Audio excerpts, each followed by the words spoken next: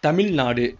ஒரு ஆயிரம் ஆண்டுகளுக்கு முன்னாடி அல்லது ரெண்டாயிரம் ஆண்டுகளுக்கு முன்னாடி நடந்த நிகழ்வு நம்ம தெரிஞ்சுக்கணும் அப்படின்னு நினைச்சோம்னா இன்று நம்ம உடனே வந்து எடுத்து பார்க்கறது வந்து அந்த காலகட்டத்தில் இருந்த இலக்கியங்களையும் கல்வெட்டுகளை தான் எடுத்து பார்க்குறோம். இந்த இலக்கியங்கள் மற்றும் கல்வெட்டுகள்ங்கிறது நம்ம முன்னோர்கள் அவர்களை பற்றி தெரிஞ்சுக்கிறதுக்காண்டி வந்து நமக்காக வெற்றி சென்ற தடயங்கள். நம்ம தமிழர்கள் ஆயிரம் ஆண்டுகளுக்கு முன்னாடி எப்படி இருந்தாங்கிறத நம்ம இலக்கியங்கள் பார்த்து தெரிஞ்சுக்கிறதை விட வெளிநாட்டவர்கள் நம்ம தமிழர்களின் பெருமை பற்றி பேசுவதுதான் வந்து நம்ம தமிழ் இனத்திற்கே சிறப்பு.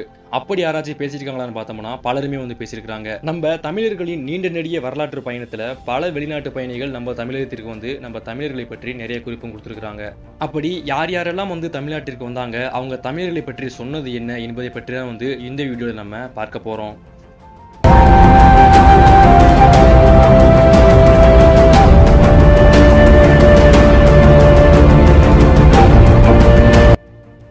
Marco polo.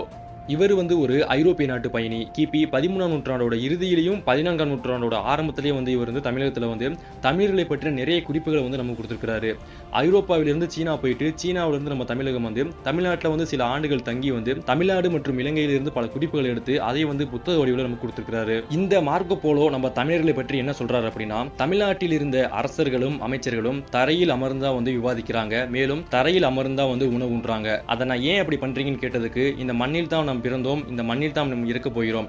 இது வந்து இந்த மண்ணுக்கு நாங்கள் செலுத்துற மரியாதை அப்படின்னு சொன்னாங்க அப்படின்னு குறிப்பிட்டிருக்கிறாரு. மேலும் தமிழகத்துல வந்து வெயில் வந்து ரொம்ப அதிகமாக அடிக்கும். இதனால அந்த நாட்டு மக்கள் அனைவருமே வந்து மெல்லிய பருத்தி ஆடை தான் வந்து அணிஞ்சிருந்தாங்க அப்படின்னு ஒரு குறிப்பில் இருக்குது. பெண்கள் பருத்தியாலான மெல்லிய மேலாடை அணிந்திருந்ததாகவும் ஆண்கள் வந்து மேலாடையே அணியவில்லை அப்படின்னு அவர் குறிப்பில் கொடுத்திருக்கிறாரு. மேலும் அரசர்களுமே வந்து மெல்லிய பருத்தி ஆடை தான் அணிஞ்சிருந்தாங்க. ஆனா அவங்க பருத்தி ஆடையில வந்து நவரத்தன கற்கள் போன்ற பல கற்கள் வந்து அதுல இருந்துச்சு அப்படின்னு அவர் குறிப்பில் இருக்குது. அடுத்ததா தமிழர்களின் உணவு முறையை பற்றி மார்க்க போல என்ன சொல்றாரு அப்படின்னா தமிழகத்துல வந்து அதிகப்படியான அளவுல வந்து நெல்லை தான் வந்து விவசாயம் பண்றாங்க. நெல்லு தான் வந்து தமிழர்களின் மிக முக்கியமான ஒரு உணவாக இருக்குது அப்படின்னு குறிப்பிட்டிருக்கிறாரு. மேலும் வந்து உணவு உண்டு முடிச்சதுக்கு அப்புறம் வந்து வெற்றிலையும் சுண்ணாமி வந்து அவங்க உட்கொள்றாங்க. அதை சாப்பிட்ட வந்து அவங்க சிகப்பு கலர்ல வந்து காரி துப்புறாங்க அப்படின்னு குறிப்பிட்டிருக்கிறாரு. வெற்றிலை மற்றும் சுண்ணாம்பை நல்லா மென்று தின்னு அதை வந்து காரி துப்புறாங்க. இதை வந்து எதற்காண்டி பண்ணுறாங்க அப்படின்னா ஒருத்தர் வந்து திட்டுறதுக்காண்டியோ அல்லது சபிக்கிறதுக்காண்டியோ வந்து இந்த மாதிரி வந்து பழங்கால தமிழர்கள் பண்ணியிருக்கிறாங்க அப்படின்னு அவர் குறிப்பிட்டிருக்கிறாரு. அடுத்ததா மார்க்கோ போலோ தமிழர்களை பற்றி என்ன சொல்றாரு அப்படின்னா தமிழகத்திலிருந்து ஏற்றுமதி செய்யப்படும் முத்துக்களும் பவளங்களும் தான் வந்து உலகத்தில் இருக்கக்கூடிய பல நாட்டு மன்னர்களுமே வந்து பயன்படுத்துறாங்க. தமிழகத்தோட மிகப்பெரிய துறைமுகமா காயல் துறைமுகம் அதாவது இன்றைய தூத்துக்குடி துறைமுகம் இருந்ததாகவும் வந்து அவர் குறிப்பிட்டிருக்கிறாரு. அடுத்ததா தமிழர்கள் அதிகப்படியாக வந்து இறை நம்பிக்கை உடையவர்களாக இருக்கிறாங்க. எந்த ஒரு காரியத்தை செய்யறதுக்கு முன்னாடி வந்து சகனம் பார்க்கறாங்க குறி கேட்கறாங்க.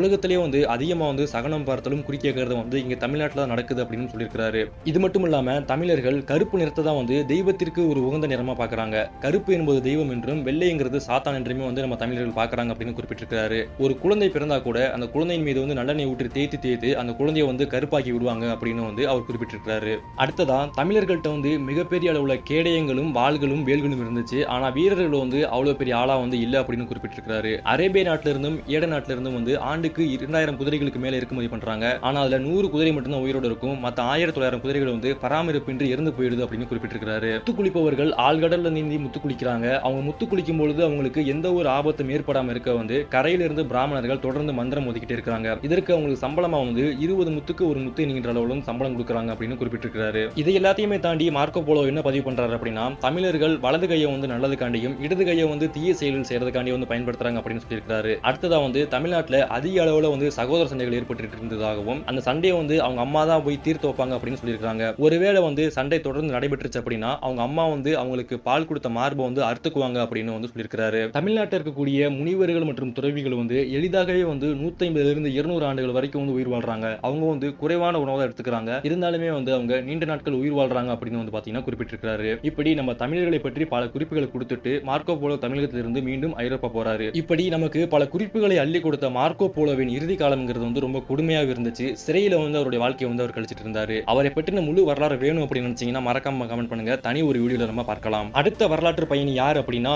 இபுன் பதுதா. இவர் மார்க்கோ போல வந்துட்டு போனதுக்கு அப்புறம் ஒரு இருபதுல இருந்து ஒரு முப்பது ஆண்டுகளுக்குள்ள தமிழகம் வந்திருக்காரு அந்த காலகட்டத்தில் வந்து தமிழகத்துல சுல்தான்களோட ஆட்சி நடைபெற்றுச்சு. ஒரு முப்பது ஆண்டுல வந்து மிகப்பெரிய அளவுல ஆட்சி மாற்றங்களும் அரசியல் மாற்றங்களும் அந்த காலகட்டத்தில் நடந்துச்சு. அந்த காலகட்டத்தில் தான் வந்து இந்த இபுன் பதுதா என்றக்கூடிய மொரோக்கோ நாட்டு பயணியம் வந்து தமிழகம் வந்தாரு. இபுன் பதுதா தமிழகம் வந்து பார்க்கும்போது தமிழகம் எப்படி இருந்துச்சு அப்படின்னா தமிழகம் வந்து சுடுகாடா சுடுகாடா இருந்துச்சு அப்படின்னு கூட சொல்லலாம். மார்க்கோ போலோ தமிழகம் வந்தபொழுது தமிழகத்தில் பாண்டியர்களுடைய ஆட்சி நடைபெற்றுச்சு. அந்த ஆட்சிங்கிறது வந்து தமிழர்களின் பொற்காலம் அப்படின்னு பல வரலாற்று ஆய்வாளர்கள் சொல்றாங்க. மார்க்கோ போலோ தமிழகத்துக்கு வந்துட்டு போனதுக்கு அப்புறமா வந்து இபுன் பதுதா வராரு. இபுன் பதுதா வரும்போது தமிழகத்தில் சுல்தான்களோட ஆட்சி நடைபெற்று இருந்துச்சு இந்த சுல்தான்களோட ஆட்சியை தமிழர்களின் இருண்ட காலம் அப்படின்னு வரலாற்று ஆய்வாளர்கள் சொல்றாங்க. இந்த இபுன் பதுதா தமிழ்நாட்டை பற்றி என்ன குறிப்பு கொடுக்குறாரு அப்படின்னா தமிழர்கள் வந்து வெற்றிலை சுண்ணாம்பை வந்து அதிக அளவில் பயன்படுத்துறாங்க. விருந்தினர் யாராச்சும் வீட்டுக்கு வந்தா அவங்கள வந்து வெற்றிலை கொடுத்து தான் வரவேற்கிறாங்க அப்படின்னு சொல்லியிருக்காரு வெள்ளிக்கு நிகரா தமிழர்கள் வெற்றிலையை பயன்படுத்தினதா வந்து அவர் குறிப்பிட்டிருக்கிறாரு. இபுன் பதுதா தமிழகம் வரும்பொழுது தமிழகத்துல வந்து சுல்தான்கள் ஆட்சி பண்ணிட்டு இருந்தாங்க. அந்த காலகட்டத்துல சட்டத்திட்டங்கள் மிக கடுமையாக இருந்தது அப்படின்னு அவர் குறிப்பிட்டிருக்கிறாரு. சுல்தான்களுக்கு எதிராக யாராச்சும் கிளர்ச்சிகள் பண்ணாலோ கேள்விகள் கேட்டாலோ அவங்க வந்து கேள்வியே இன்றி வந்து வெட்டி கொல்லப்பட்டாங்க.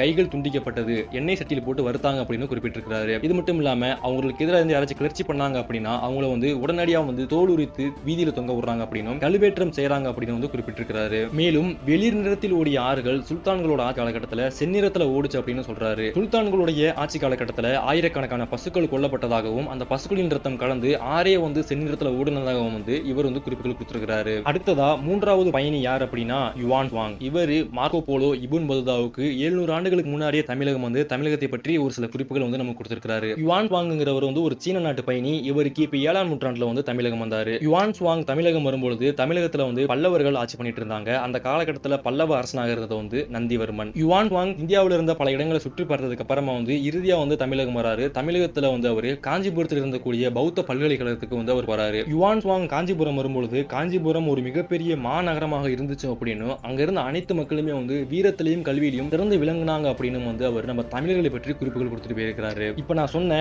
Marco Polo Yuan Chwang Ibn Battuta இந்த பயணிகள் எல்லாமே வந்து குறிப்பிட்ட கால இடைவெளியில வந்து இந்தியாவிற்கும் தமிழகத்திற்கும் வந்த மிக முக்கியமான வரலாற்று பயணிகள். இவர்களையும் தாண்டி பல பயணிகள் வந்து நம்ம தமிழகத்துக்கு வந்திருக்காங்க ஆனா அவர்களை பற்றின குறிப்புகள் வந்து நமக்கு கிடைக்கல. கிபி பதினான்காம் நூற்றாண்டுக்கு அப்புறம் வந்து தொடர்ந்து வந்து நிறைய ஐரோப்பிய நாட்டு பயணிகள் வந்து தமிழகத்துக்கு வரி தந்துட்டு தான் இருந்தாங்க. அவங்க வந்து நமக்கு பல குறிப்புகள் வந்து கொடுத்துருக்காங்க கிபி பதினைந்தாம் நூற்றாண்டு பதினாறாம் நூற்றாண்டுல ஐரோப்பாவை சேர்ந்த பல பாதிரியர்களும் வந்து நம்ம தமிழகத்துக்கு வந்து அவங்களும் வந்து பல குறிப்புகள் வந்து கொடுத்துருக்காங்க அவங்க எல்லாம் வந்து நம்ம தமிழகம் வரும்பொழுது தமிழகம் வந்து ஒரு சுடுகாடா இருந்தது அப்படின்ற மாதிரி தான் வந்து வரலாற்று ஆய்வாளர்கள் சொல்றாங்க. அந்த காலகட்டத்தில் பல கொடுமைகள் நடந்ததாகவும் பல பஞ்சங்கள் நிலவியதாகவும் வந்து பார்த்தீங்கன்னா வரலாற்று ஆய்வாளர்கள் எழுதியிருக்கிறாங்க. இதெல்லாம் பற்றி நீங்க தெரிஞ்சுக்கணும் அப்படின்னு நினைச்சீங்கன்னா மறக்காம வந்து கமெண்ட் பண்ணுங்க. அதை பற்றியும் வந்து ஒரு தனி வீடியோவில் நம்ம பார்க்கலாம்.